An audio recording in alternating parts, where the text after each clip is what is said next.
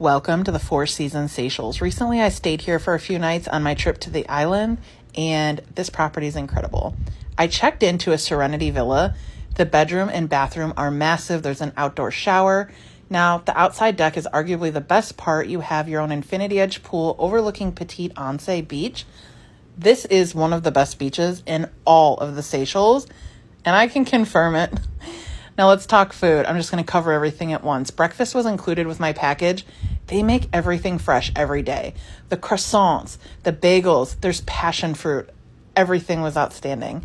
One night for dinner, we ate outside. During sunset, we had this fantastic steak. The Creole food is also really amazing. Not a bad dish in the house. Now, the property is great, and there's a spa, there's a gym, there's yoga, but everyone comes here for the beach. Petite Anse is one of the best beaches in all of the Seychelles. The water's clear, it's super unique with the boulders, and it's beautiful.